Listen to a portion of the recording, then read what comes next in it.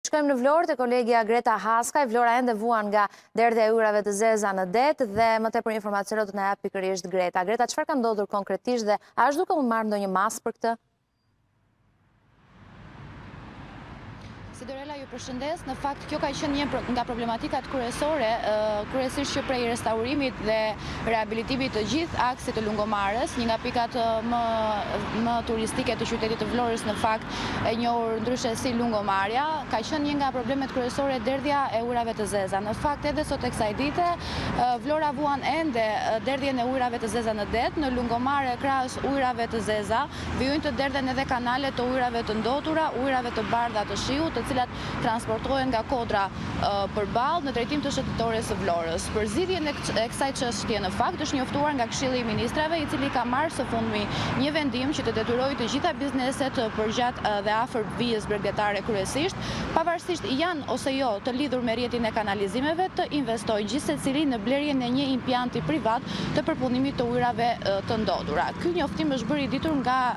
Drejtoria e Ujësjellës Kanalizime në Vlorë, para disa ditësh dhe në fakt, sipas informacioneve që kemi aktualisht në Vlorë, është investuar dy herë në impiantin e ujërave të zeza me një vlerë totale 7 milionë euro.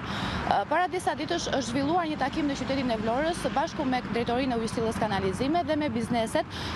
konkretisht përgjatë gjithë vijës bregdetare duke filluar prej qendrës së qytetit në fillim të Lungomares në lagjen Pavarësia dhe deri në Radhimë Orikum pra përgjatë gjithë vijës bregdetare aktualisht operojnë në në gjithë zonën 10000 biznese këtu përmendim hoteleri, agjensi, bare, restorante, subjekte private që në fakt në takimin e zhvilluar disa ditë më parë së bashku këto biznese kanë rënë kundër nuk kanë rënë dakord me të gjithë këtë vendim dhe njoftim që është bërë nga Ujësjellës Kanalizime për të investuar secili privatisht në blerjen e këtij impianti, që sipas drejtorit të Ujësjellës Kanalizime në Vlorë, zoti Sokol Kananaj, në fakt ky është një investim dhe një projekt i cili do të zhvillohet për shmangien e të gjitha kanalizimeve të ujërave të zeza dhe kështu në të mirë dhe në mbajtjen pastër të gjithë qytetit. Por sipas tyre është një kosto shumë e madhe. Pati dhe nga ata që u ngritën në në në revoltë dhe të revoltuar duke u shprehur se ky është një akt i pastër korruptiv, pati nga ata të cilët nuk ishin dakord dhe nuk do ta pranonin vendimin e ndërmarrë nga Ujësjellës Kanalizime për ta çuar atë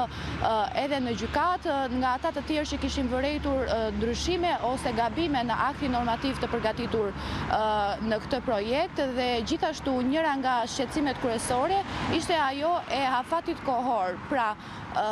Ujësjellës Kanalizime në Vlorë ka njoftuar së bashku me implementimin e këtij projekti se do të vihet në zbatim dhe afati i fundit është data një maj. Pra brenda nëntëdhjetë ditëve të gjitha këto biznese, pra dhjetë mijë biznese të cilat operojnë në Vlorë duhet të investojnë për blerjen e këtij impianti dhe më pas të gjitha Projektet e tjera që do të ndërmerren do të jenë në rishikim të të dyja palëve. Mirëpo deri atëherë, ashtu siç kemi folur dhe me disa prej ambientalistëve në qytetin e Vlorës, zakonisht të gjitha punimet që bëhen si nga Ujësjellës Kanalizime ashtu dhe nga Bashkia e Vlorës lihen gjithmonë për afatet e fundit para sezonit turistik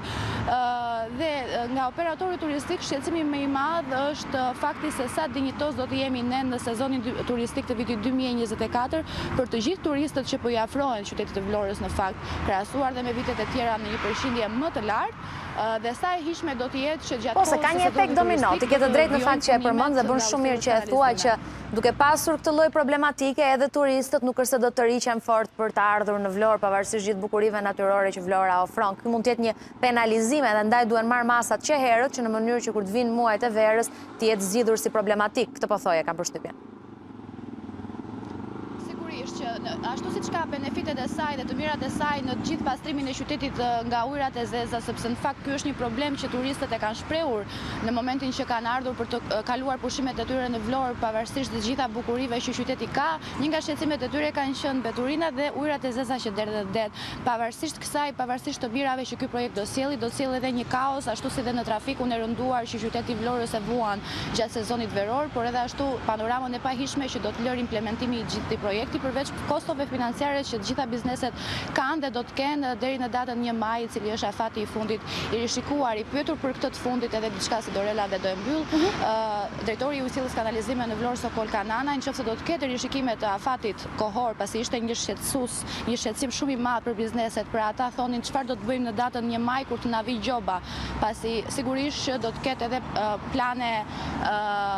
masa administrative në rast të kundërt në qoftë se do të kundërshtohet për të mos u zbatuar ky plan, çfarë do të bëjmë në datën një maj kur të na vijë gjoba dhe si do t'ia dalim me kostot financiare.